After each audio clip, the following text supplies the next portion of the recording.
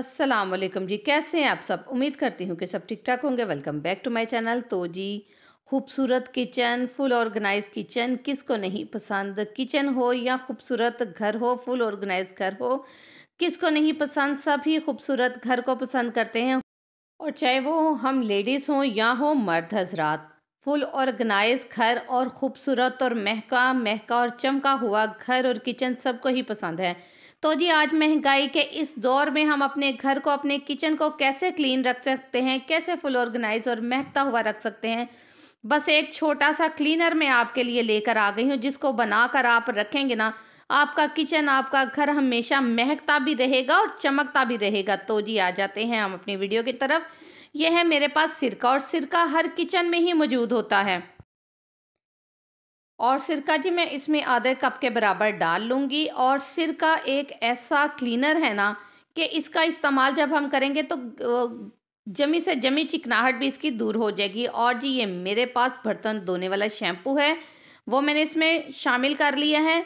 और जी, साथ में इसमें करूँगी बेकिंग सोडे को शामिल। और देखिएगा बेकिंग सोडा और सिरका आपस में मिलकर कैसा रिएक्शन करते हैं। और जी जब ये रिएक्शन करते हैं तो फिर आपको ख़ुद भी पता चल जाना चाहिए कि ये फिर बड़ा अच्छा सा एक होममेड क्लीनर बन जाएगा। और जब आप ये होममेड क्लीनर बनाकर रख लेंगे तो मार्केट से महँगे महँगे क्लीनर लाने की हमें ज़रूरत नहीं पड़ेगी। बेकिंग सोडा और सिरका दोनों चीज़ें किचन में मौजूद होती है। बर्तन धोने वाला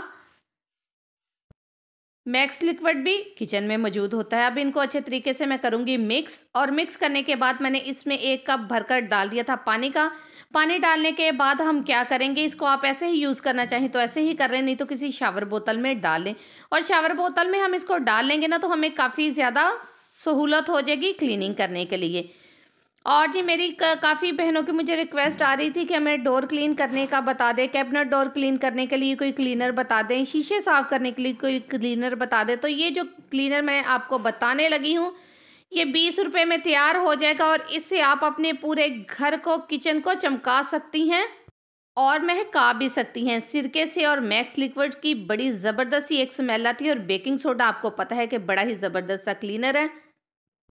और जी, ये मेरा मेन डोर है और आपको पता है कि मेन डोर पे बाहर से काफ़ी ज़्यादा हवा आती है, डस्ट आती है और इसकी बार बार क्लीनिंग तो डेली का डेली हम नहीं कर सकते।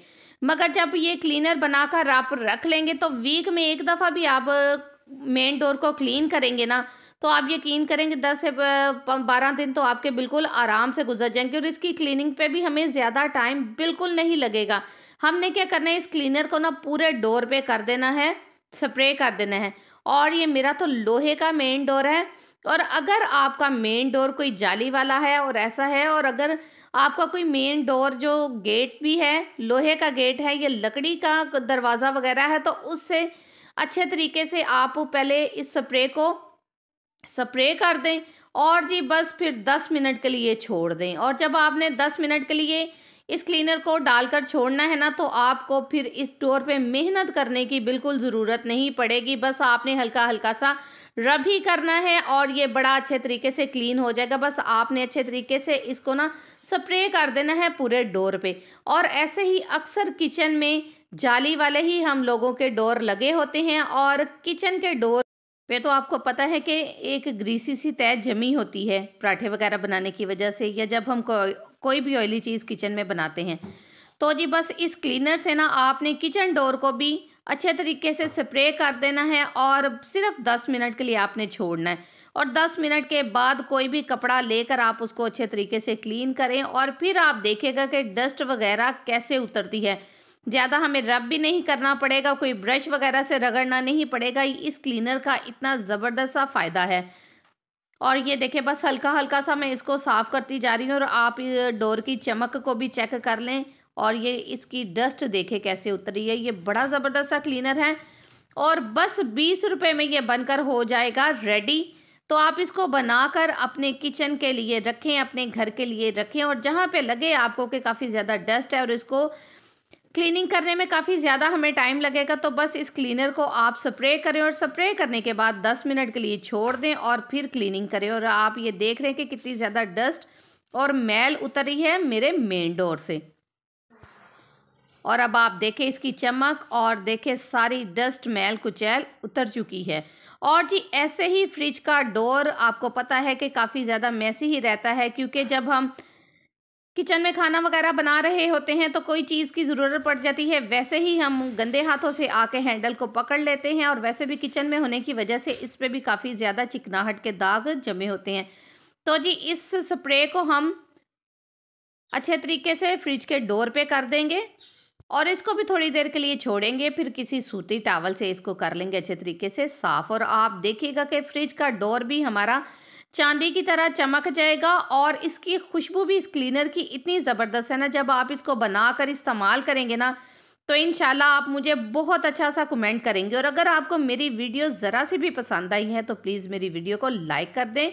और जो चैनल पर नहीं है, वो जल्द जल्द से कर लें चैनल को सब्सक्राइब और साथ में दिए गए बेल आइकन को प्रेस करना बिल्कुल मत भूलें।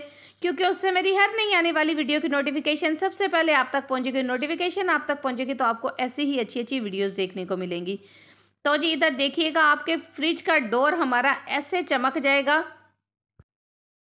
तो जी, बस जो जो मेरी बहन चाहती है कि मेरा घर और किचन चमके भी और महके भी तो वो जल्दी से इस क्लीनर को बनाए और अपने घर को और किचन को चांदी की तरह चमका लें।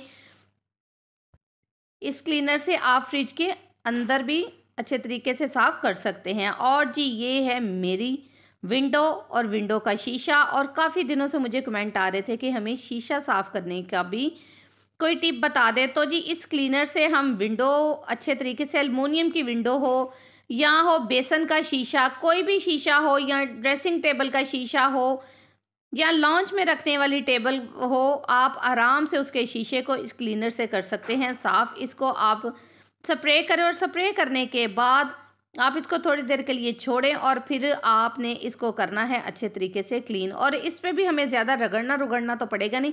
और अगर आप इसको टावल से नहीं करना चाहते तो आप इसको टिशू से या अखबार से कर लें। और फिर आप शीशे की चमक देखिएगा कि कैसा हमारा शीशा चमक जाएगा। और जब आप इस क्लीनर से शीशे को साफ़ कर लेंगे ना तो आप यकीन करेंगे दस से पंद्रह दिन भी आपका शीशा ऐसे ही पड़ा रहेगा। आपको इस पर ज़्यादा मेहनत करने की ज़रूरत बिल्कुल नहीं पड़ेगी। तो ये क्लीनर बना के ना, आप बहुत ज़्यादा घर की क्लीनिंग कर सकते हैं। और जी, इसको क्लीन करते हुए बस आपने ऊपर से नीचे तक सीधी साइड पे करना है। और जब सीधी साइड पे करेंगे तो ये शीशे के ऊपर बिल्कुल निशान नहीं पड़ेंगे और शीशा हमारा जहाँ पाँच मिनट में साफ़ हो, होना है ना वहाँ दो मिनट में हो जाएगा साफ़। तो शीशे को भी साफ़ करते हुए बस इस थोड़ी सी टिप को आपने ज़रूर फॉलो कर लेना है और इसको फॉलो करने से ना जहाँ मैं फिर आपको कह रही हूँ जहाँ हमारे पाँच मिनट लगने हैं वहाँ हमारे दो मिनट लगेंगे और शीशा हमारा अच्छे तरीके से हो जाएगा क्लीन। और इसी क्लीनर से ना आप अपनी अलमारियों वगैरह के बाहर डोर को भी कर सकते हैं अच्छे तरीके से क्लीन। और यहीं पे करूँगी मैं आज की अपनी वीडियो की, वीडियो का एंड मुझे पूरी में देखें मेरी सारी वीडियो आपको ज़रूर पसंद आई होगी और आप इसको ट्राई भी ज़रूर करेंगे। नेक्स्ट वीडियो के लिए अल्लाह हाफिज़।